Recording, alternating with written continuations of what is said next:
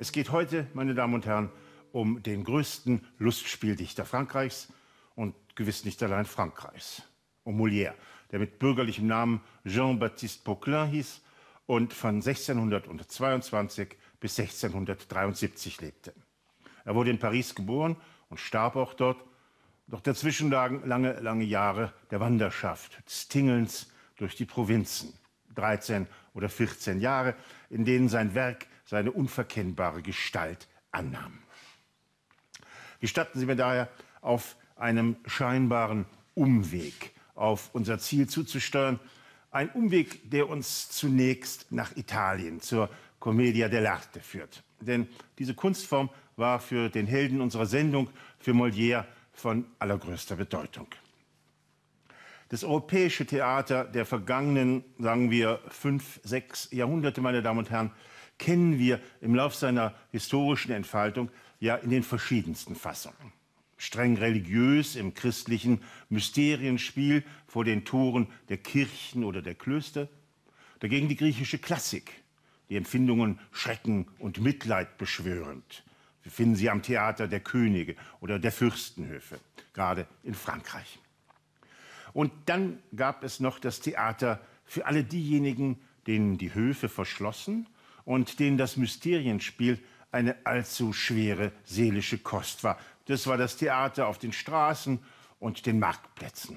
Und bei dieser Form denken wir zu Recht und am liebsten an Italien.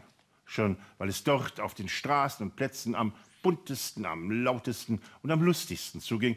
Und gewiss auch weil ein so oft heiterer Himmel hier fast zwangsläufig zum natürlichen Verbündeten einer gelungenen Freilichtveranstaltung wurde.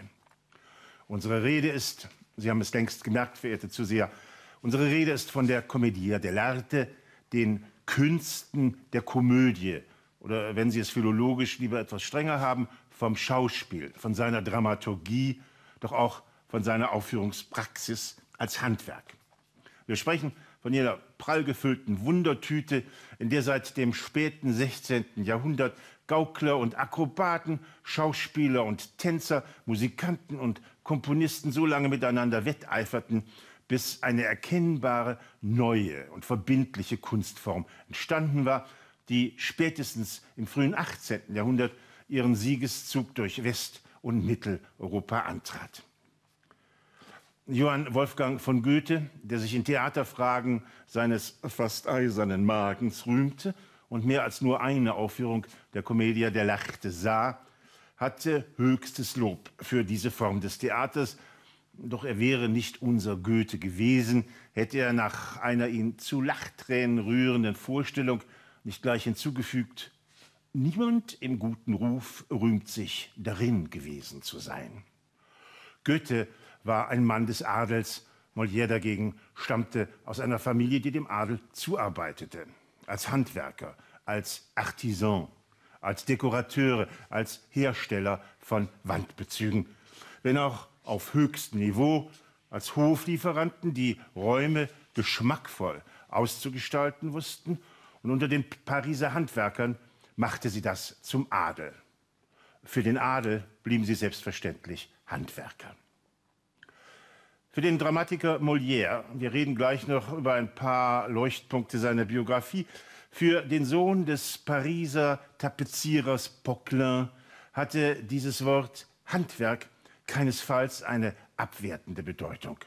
Gut möglich sogar, dass gerade diese Herkunft seinen Blick auf den idealen Bauplan, die Konstruktion eines gelungenen Theaterstücks schärfte, auf Grundelemente oder zentrale Figuren wie im Schachspiel auf die Gestalt des Pantalone etwa, den reichen Kaufmann, den etwas trotteligen Vater und Ehegatten, von dem niemand versteht, woher er seine Macht bezieht, weil er doch andauernd betrogen wird.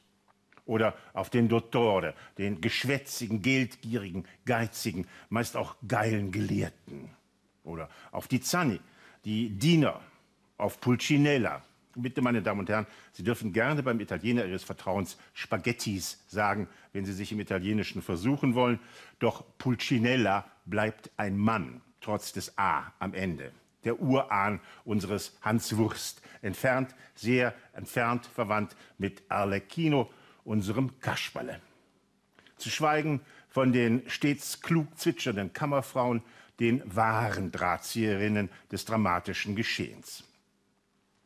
So wie Heinrich von Kleist später das Marionettentheater analysierte, entdeckte Molière in der italienischen Commedia dell'arte wichtige, prägende Grundformen der szenischen Anordnung, die sich eben nicht nur auf die noch Goethe belustigenden Hanswurstiaden anwenden ließen, sondern auch auf, sagen wir, die Gestalt eines Menschenfeindes, eines Misanthropen, auf die Geschichte eines im doppelten Wortsinn eingebildeten Kranken, auf einen Betrüger namens Tartuffe, auf einen Bürger als Edelmann oder auf die Geschichte von jungen Frauen, die bei der Heirat lieber dem Diktat ihres Herzens als den Investitionsplänen ihrer Vormundschaft folgen wollen.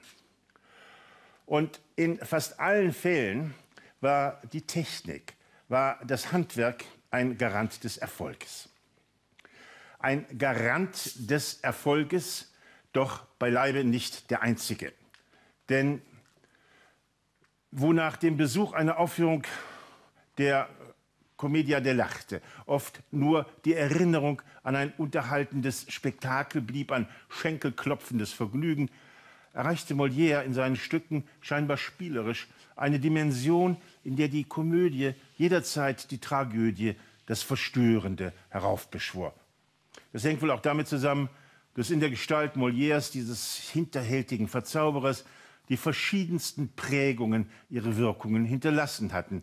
Neben dem künstlerischen Spieltrieb war das, und das ist nicht nur so nebenbei zu bemerken, eine sehr, sehr gründliche akademische Ausbildung mit das Feinste, was ein Vater seinem Sohn im damaligen Paris bieten konnte.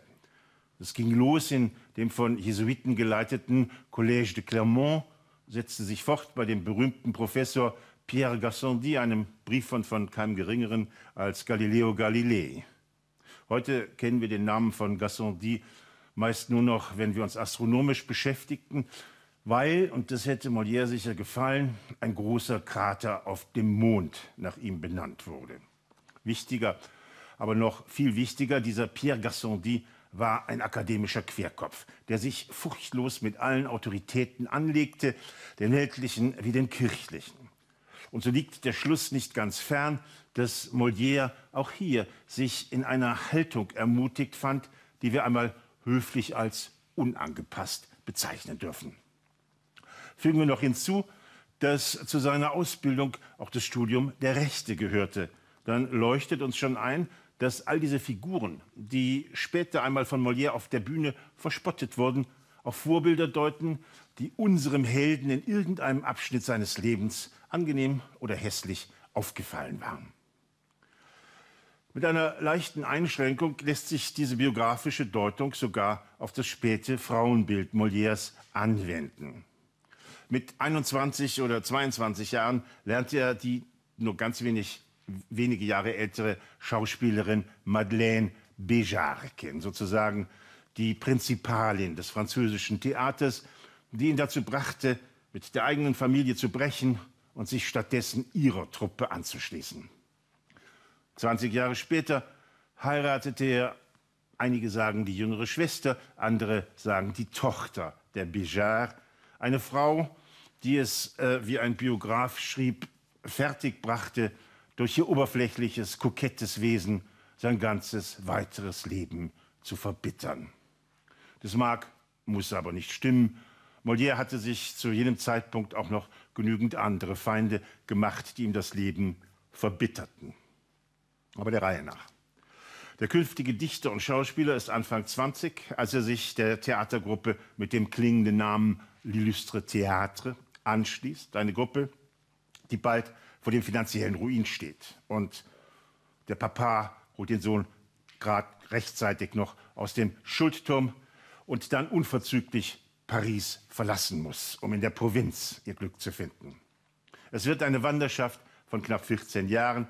Mal steht die Truppe unter dem Schutz eines Herzogs, mal unter dem eines Prinzen. Es geht quer durch Frankreich und die Truppe Molière ist längst ihr Anführer geworden. Die Truppe macht in dieser Zeit all die Erfahrungen durch, die ein Theater wie man es heute so sagt, meine Damen und Herren, die ein Theater on the road machen kann und machen muss. Wenn Sie je die Gelegenheit haben, den Film von Ariane Muschkin über Molières Wanderjahre zu sehen, 1978 wurde er in Cannes mit einem goldenen Preis, Palme, ausgezeichnet. Zögern Sie nicht, Sie behalten statt meiner dürren Worte die eindrücklichsten Szenen von diesen Wanderjahren einer Schauspieltruppe im Gedächtnis. Das von einer Künstlerin vorgeführt, die ihre Kunst vor dem großen Vorbild weiß Gott nicht verstecken muss. 1661 landet die Theatergruppe wieder in Paris, in der Hauptstadt. Die Schauspieler führen hier auf, was höfisch gefragt ist. Die Kunst mit dem hohen K. Ein Stück von Racine vermutlich. Und zeigen dann in einer Zugabe, was sie auch noch können. Rotzfreche Komödie, wie sie das Volk erfreut. Der Hof ist amüsiert. Molière kriegt sein Theater in der Hauptstadt, im Petit Bourbon, später im Palais Royal und kann sich voll entfalten, ist erfolgreich und stürzt somit folgerichtig und in fast unmittelbarer Konsequenz in das raffiniert engmaschige Netz von Intrigen, Verleumdungen, Nachstellereien, die andere weniger erfolgreiche oder um ihren Erfolg bangende Künstler, Schauspieler, Prinzipiale und deren Mentoren einem Neuankömmling aus der Provinz bereiten können. Sogar Lully, Molières Hauskomponist, der ungerechterweise erst 15 Jahre nach Molières Tod an einer törichten, sich selbst zugefügten Verletzung stirbt, konspiriert gegen ihn. Die Kirche betreibt und bewirkt seine Exkommunikation. Und gerettet, getragen, bestärkt wird er allein von wem? Klar, von seinem Publikum. Nehmen wir, verehrte Zuseher, nur ein einziges Stück, um zu zeigen, warum hier einmal der Geschmack des breiten Publikums der richtige, der grundgescheite Ratgeber war. Ein Stück, das, wenn Sie gestatten, an den gesunden Menschenverstand appelliert und folgerichtig der eingebildete Kranke, le malade imaginaire heißt. Es geht um die bitterböse Darstellung des Hypochonders, des Menschen, der weiß, dass nur er alles Leid der Welt auf sich zieht. Es geht folglich um den Schaden, den er leiden kann, wer zu inbrünstig an Experten, in diesem Fall sind es die Ärzte, glaubt. Und es geht nicht zuletzt auch um die Einsicht, dass lebenspraktische Klugheit, das um jetzt einmal ein ganz großes Wort zu bemühen, dass es um die Sache der Aufklärung nicht schlecht bestellt ist, wenn diese Rolle der Aufklärerin von einer vermeintlich ungebildeten, von der Zofe Antoinette übernommen wird.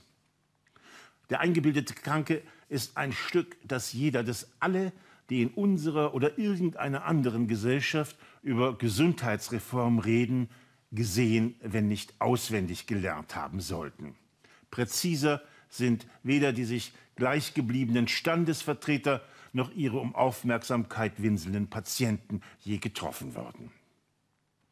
Wie stets in seinen Werken wusste Molière bis in das Pianissimo des Details, von welchem Verhängnis die Rede war.